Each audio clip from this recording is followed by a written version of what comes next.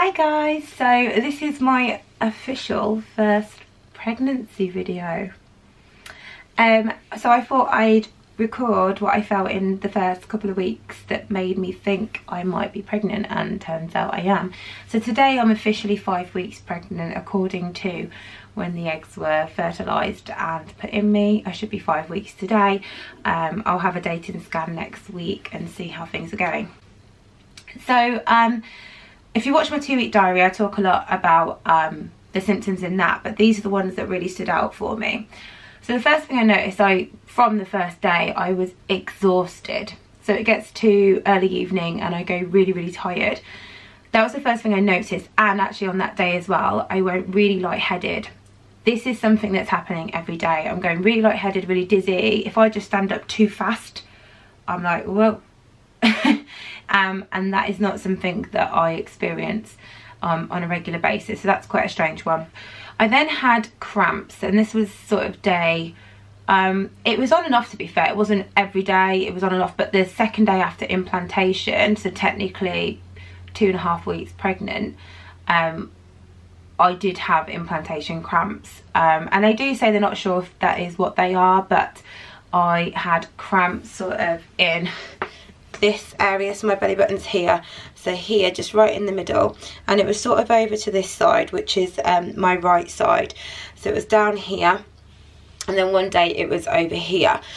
Um, in that first week at one of the evenings I had a shooting pain sort of where my ovary would be. But I don't really have them.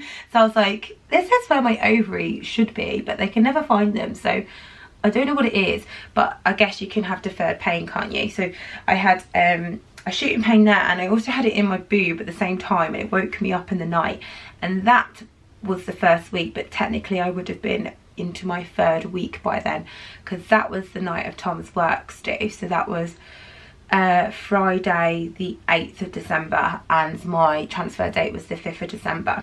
Metal taste in your mouth is the strangest sensation in the world and I looked it up and the only two reasons for it I could find was poor oral hygiene and pregnancy. So I had that all day and everything I ate, it did not go away.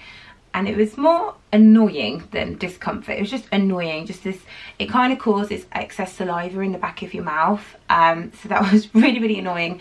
So I had that um, around that time as well the headache started and I'm not someone who suffers from headaches.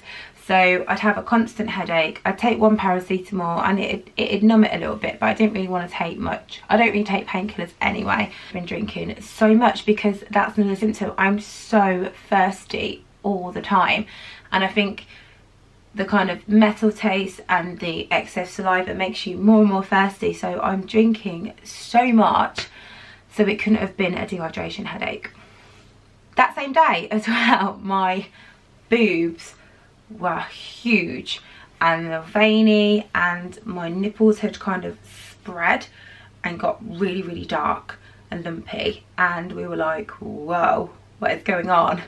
Um, and they did kind of like settle down the next day, but they were just, yeah, extra, extra big that day those have been the main symptoms. Another one I've had actually is during the night I am sweating. Like I'm so hot. I'm waking up and the pillow's damp, my hair's damp, I'm sweating and it's December. Now I do sleep with a winter duvet and a throw but I'm pretty much always like that. But I'm really, really warm. Appetite. Appetite has gone, which makes me really sad because I love food. Um, and my taste is different so I love really strongly flavoured food, spicy food, everything and I've just gone right off it. So it doesn't, the thought of it doesn't make me feel sick. I just don't have any desire or no desire for anything. So pretty much all I want to eat is toast or plain crisps so um, yeah lightheadedness is every day um, the, the lack of appetite. And when I do eat it's got a bit better this week actually but especially in week three and four when I did eat as soon as it hit my stomach I was full and I was really really bloated had so many digestive issues. I always felt like big. I already feel really big. I feel like I've put on a lot of weight and I don't know if it's just being self-conscious I feel very different. Um, but I'm just going with it. I think the progesterone drugs do a lot of it as well. Um, and obviously I'm not as active as I was before, so I've just got to chill out because I'm probably going to be getting a lot bigger. um, I think I'm going to be one of those people that just puts on a shed load of weight um, as well. The tiredness thing is really strange because I can get quite tired, but I'm rubbish at sleeping. But when I'm asleep, I am asleep. And that's something Tom's noticed as well because I am a champion for insomnia. Insomnia. insomnia. Um, so it's quite nice that I'm actually sleeping. I'm always having a dream as well and considering my body temperature is so high I am still maintaining um, sleep.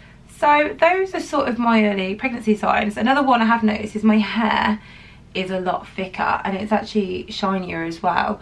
Um, I feel like it's growing already, it just feels fuller but again that just might be because I've been on the Pregnacare vitamins since September so it might just be settling in because they always improve your hair and nails.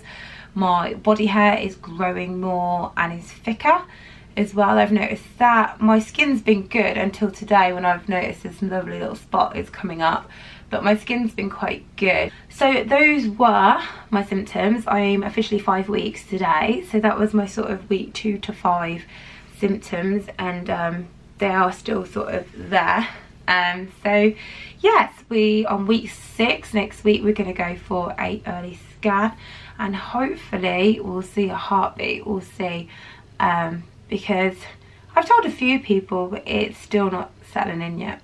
So it might do in about eight months. We'll see. Thanks for watching guys. Bye.